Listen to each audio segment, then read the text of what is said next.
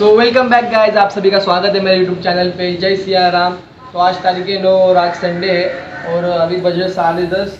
मैं नहा धो के तैयार हो चुका हूँ। मुझे फटाफट मेरा ब्रेकफास्ट प्रिपेयर करने का है। क्योंकि मैं अभी सोयाचंस लेके आया था मार्केट से। दस रुपये का पैकेट पड़ा मेरे को।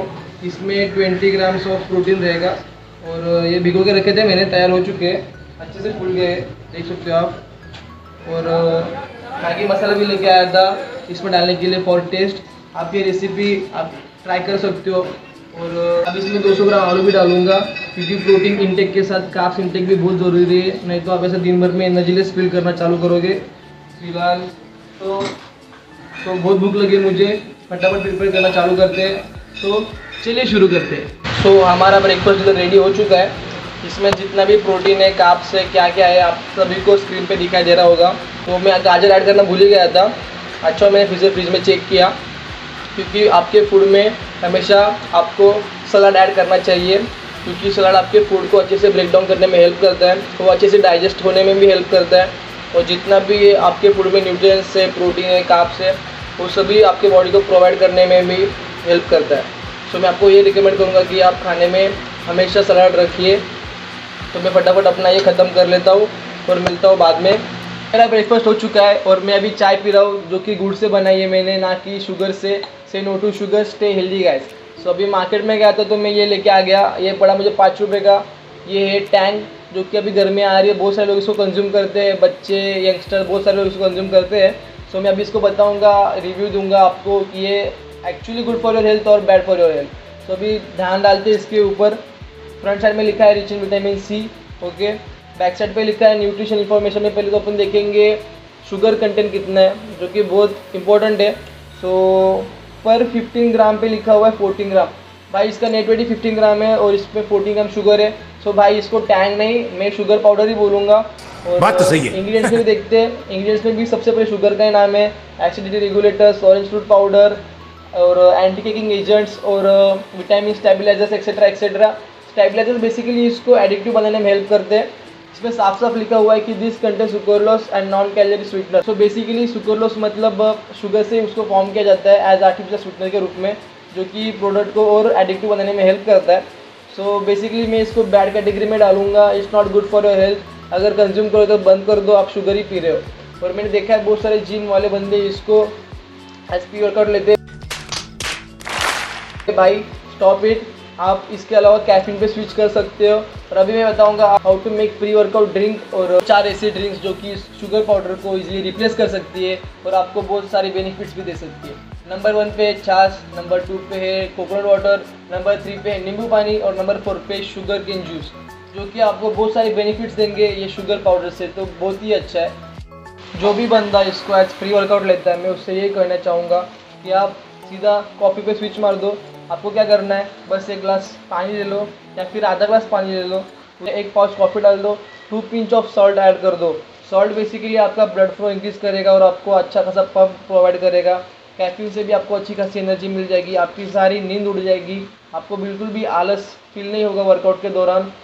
शुगर पाउडर से अच्छा है।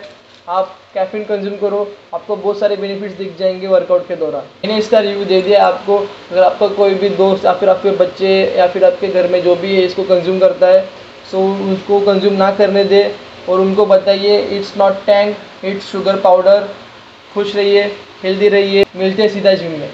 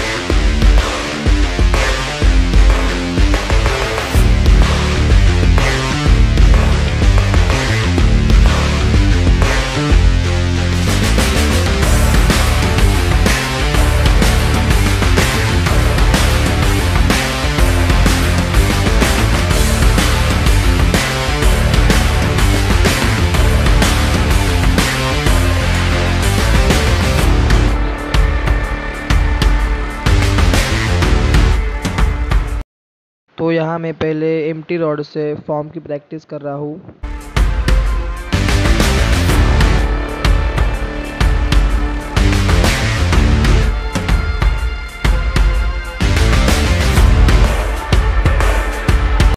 सो so, ये मेरा फ़र्स्ट सेट है। इसमें मैंने 95 फाइव के जी लिए है। इससे मैं एट रेप्स परफॉर्म करने वाला हूँ। सो so, मैं ज़्यादा हेवी भी नहीं मारने वाला आज। मैं थ्री फाइव एट रेप्स के हिसाब से सेट्स लेने वाला हूँ।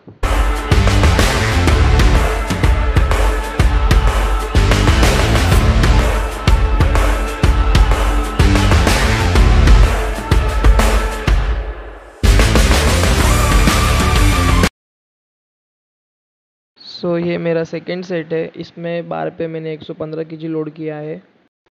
इसके सिर्फ़ मैं पाँच रेप्स मारने वाला था, लेकिन होपफुली सेवन चले गए।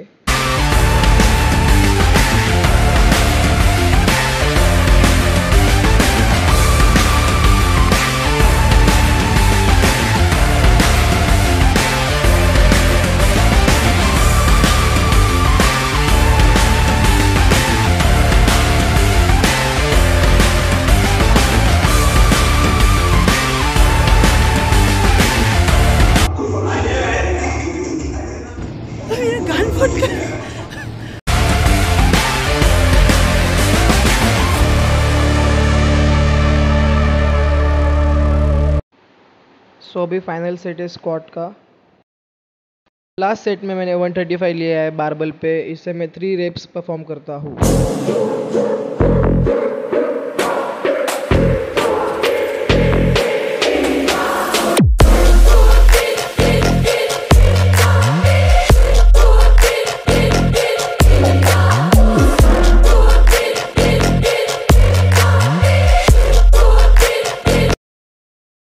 तो अब बारी है लेग प्रेस की। इसमें मैंने पहले दो सेट्स में थर्टी थर्टी रेप्स परफॉर्म किए हैं।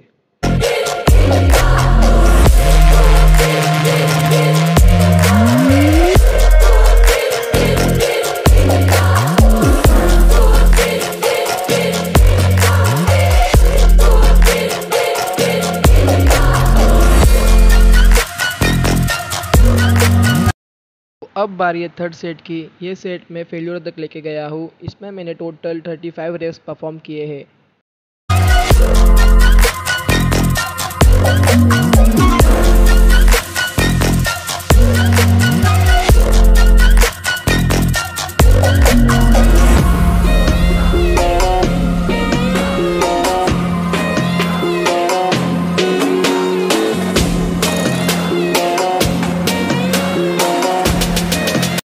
अब बारी है रोमिनियम डेडलिफ्ट की। मैंने इसमें सिर्फ़ एक ही सेट परफॉर्म किया है, क्योंकि हैमस्ट्रिंग को थोड़ा स्ट्रेच देना था मुझे। और वैसे भी स्क्वाट्स में और लेग प्रेस में हैमस्ट्रिंग्स टारगेट हो जाती है, इसलिए मैंने ज़्यादा प्रेशर नहीं डाला उस पर तो वर्कआउट हो चुका है। अभी स्ट्रेचिंग करूँगा मैं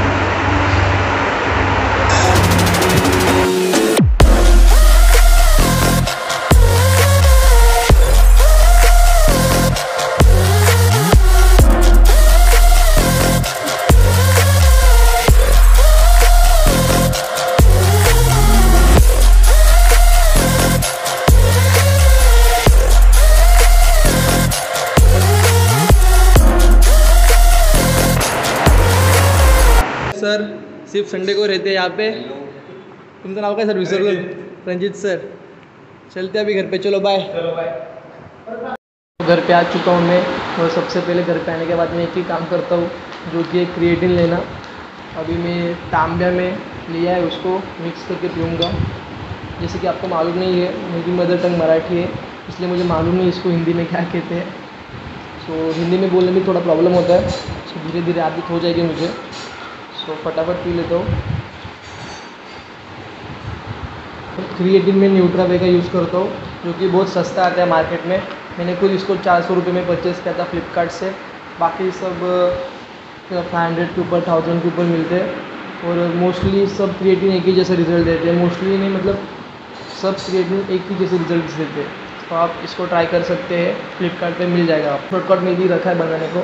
100 ग्राम मूग बॉइल्ड मूग और 100 ग्राम ब्राउन ब्रेड फिर रात को भी दस बजे में, दस नौ बजे सोया चंक्स खाऊँगा फिफ्टी ग्राम और थोड़ा पनीर।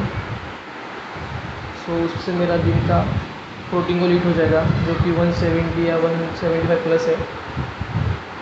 अभी सात बज रहे हैं। मैं फटाफट मेरा पोस्ट वर्कआउट मिल खा लेता हूँ फ्रेश हो जाता हूँ, नहा धो लेता हूँ, फिर मिलते हैं थोड़ी देर में। अभी दस बज रहे हैं, डिनर हो चुका है मेरा। थोड़ा वॉक को आया हूँ मैं इधर। आधे घंटे में चला जाऊँगा घर पे। फिर दो घंटा पढ़ाई भी करनी है एग्ज़ाम आ रहे हैं। नौ तारीख है, छब्बीस तारीख को एग्ज़ाम है। सो पढ़ाई भी करनी है। तो ये ब्लॉग को यही एंड करते हैं। मिलते हैं नेक्स्ट ब्लॉग में। जय श्री राम।